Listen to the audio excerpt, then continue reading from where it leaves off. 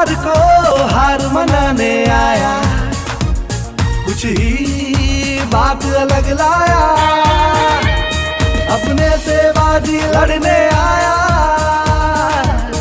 अब देखेगा दुनिया डांस की महामंच झूम इंडिया।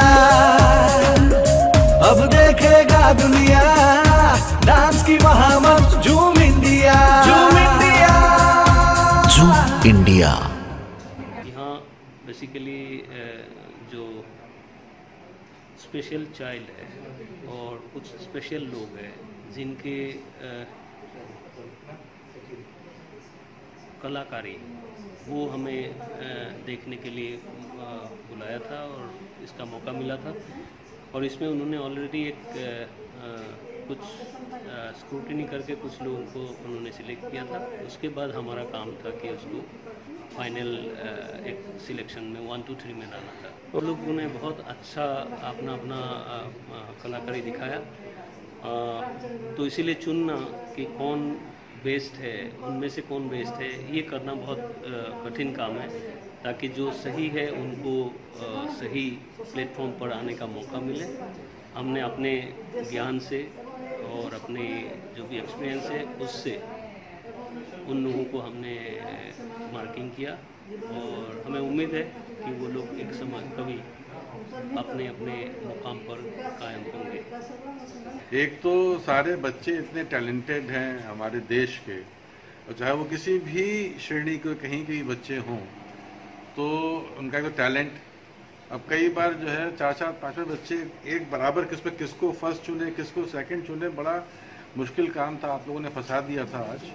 लेकिन खैर, किसी तरीके से हमने उससे पार पाया कि कितने के देखा, अब ये कैसे गिनती गिनेंगे? लेकिन हाँ मेरे ख्याल से करीब सारी जो आप लोगों ने तीन चार कैटेगरीज बना रखी हैं अलग अलग उसमें हमने करीब डेढ़ सौ, दो सौ बच्चों का अलग अलग किसी का डांस में, किसी का गाने में, किसी का एक्टिंग में, किसी का पेंटिंग में।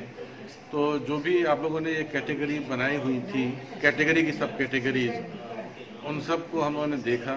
और उसको देख करके उसमें से जो हमारी अपनी समझ थी जितना हमारा ज्ञान था हमारा अनुभव था और हमें जो लगा उचित या अनुचित उसके हिसाब से हमने अंडर टू ये जो प्रोग्राम हम लोग का हो रहा है this is completely for the under privilege children enter over the India and we have already inviting like peoples from orphans blind transgender physically challenged mentally retarded and slum children they are the completely the different able children about, the india. So we are inviting them and they have already participated and we have already shortlisted the first round. And now today it, was the second round and uh, we have already shortlisted out of 200 and now the jury members are they are coming from delhi from nsd national school of drama.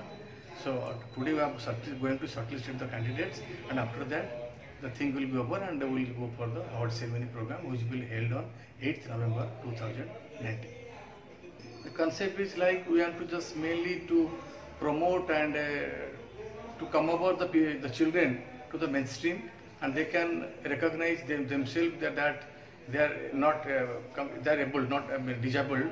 They should feel like that we are able and we can do something else for the society. And we are obviously we people are there Santidam Foundation people. So we can do definitely for the best for the for the betterment of their life